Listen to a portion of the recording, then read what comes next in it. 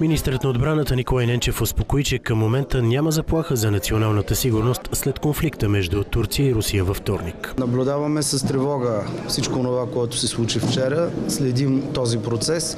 Ще се произнесем след окончателната проверка на комисията и когато излязат резултатите.